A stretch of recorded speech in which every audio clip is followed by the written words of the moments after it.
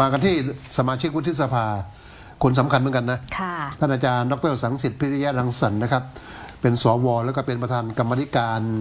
เขาเรียกประธานกรรมาธิการสามัญแก้เหลื่อมความเหลื่อมล้ำชื่อยาวๆผมจำไม่ได้นะค่ะแต่ว่าเนี่ย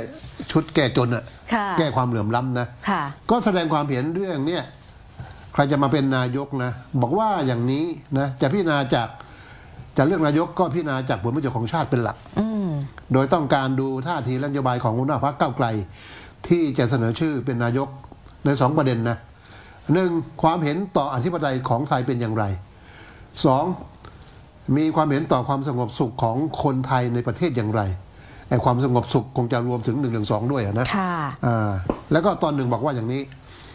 ผมจะเดสนับสนุนรัฐบาลที่ไม่ให้ประเทศมหาอำนาจเข้ามาตั้งฐานทัพในประเทศไทย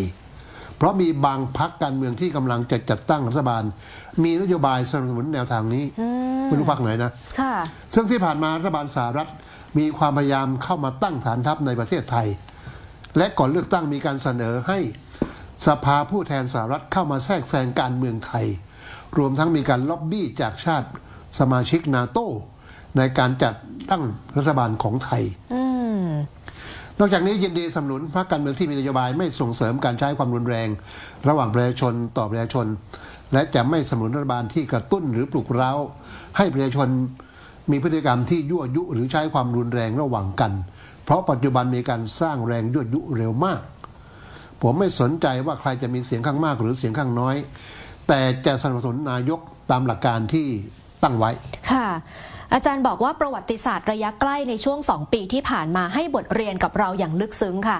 ว่าประเทศผู้ที่มีมีประเทศที่มีผู้นำและพรรคการเมืองที่ได้รับการสนับได้เสียงสนับสนุนจากประชาชนในการเลือกตั้งอย่างท่วมท้น แต่กลับอนุญาตให้ชาติมหาอำนาจเข้ามาแทรกแซงต่อนโยบายต่างประเทศ และความมั่นคงของประเทศได้ จนทำให้ในขณะนี้ประเทศดังกล่าวตกอยู่ในภาวะบ้านแตกสาแหรกขาด บ้านเมืองถูกทำลายย่อยยับ ประชาชนจำนวนมากกลายเป็นผู้ลี้ภัย และคนที่เหลืออยู่ในประเทศไม่สามารถดำเนินชีวิตได้อย่างเป็นปกติสุขได้อีกต่อไปนะคะแล้วอาจารย์เนี่ยท่านก็ได้ยกคำของหลวงพ่อชาค่ะครับบอกว่าท่านเคยกล่าวเอาไว้ว่า หากมีแมลงวันฝูงหนึ่งกับพึ่งหนึ่งตัว บินมาเจอกองอุจจาระ ฝูงแมลงวันจะบอกว่าหอม ส่วนพึ่งจะบอกว่าเหม็น ดังนั้นการจะวินิจฉัยเรื่องใดเรื่องหนึ่งนั้น จะถือเอาแต่เสียงข้างมากเพียงอย่างเดียวเสมอไปคงไม่ได้ สิ่งสำคัญที่สุดคือต้องยึดถือหลักธรรมะ ซึ่งก็คือหลักการทั้งสองประการข้างต้นนั่นเองค่ะ